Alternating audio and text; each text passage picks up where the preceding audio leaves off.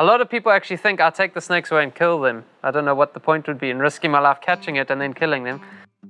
I release all the snakes that I rescue back into the wild. At the moment, I'm working on a project with my friend Cormac Price, who's a researcher from the University of KwaZulu-Natal. But before he does that, he microchips them. We are collecting data on mambas in the city.